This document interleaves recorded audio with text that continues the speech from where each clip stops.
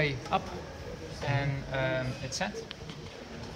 Now for tightening it, just tighten it. Don't don't over tighten it. Um, it just just needs a little bit of tension and then it's uh, it's good enough. So once we've done that, set the tool quite high up.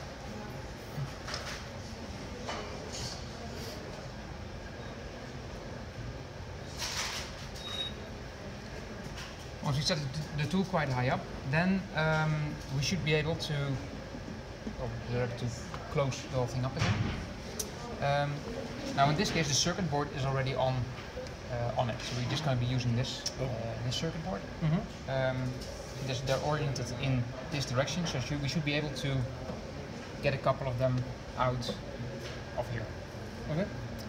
Now, for this, we want to make sure that this is set, um, uh, it's, it's, it's, it's hold down properly.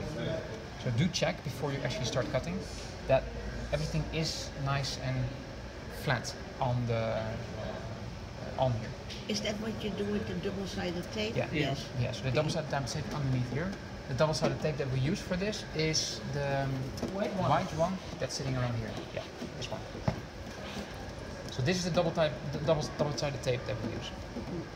We also have uh, a yellow tape. The yellow tape is not, uh, it doesn't stick uh, good enough. This sticks a lot better. So I'm trying to keep this for the circuit board tape. Isn't it uh, much thinner than the uh, yellow ones? I don't know. It seems to be a little bit thicker, Oh, okay. a bit, bit thicker and a little bit more sticky. Okay.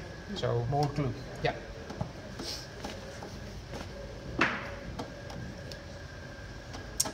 Okay.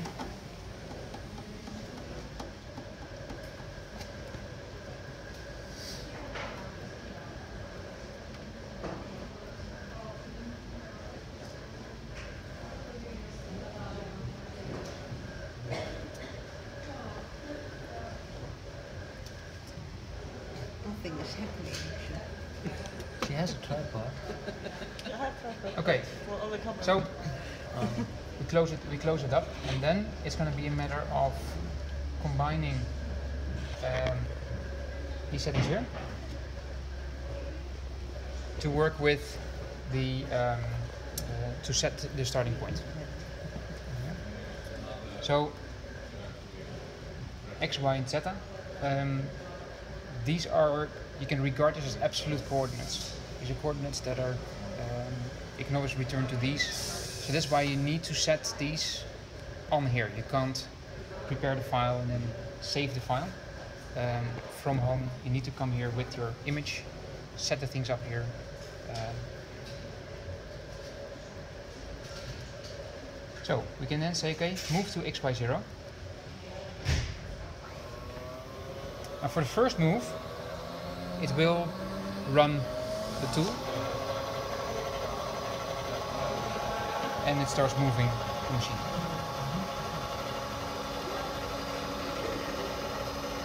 See the only difference between this machine and that machine is that um, the setting the setting of the starting point for the set uh, for the uh, the height of the tool for the setup. That's the only thing that's different between the machines. Otherwise, they're just the same. Okay, that's 10. So you can see if we if we would have had the tool a little bit further down, it would have could have been a problem. Mm-hmm. It would have just run into it. There's no sensors on it.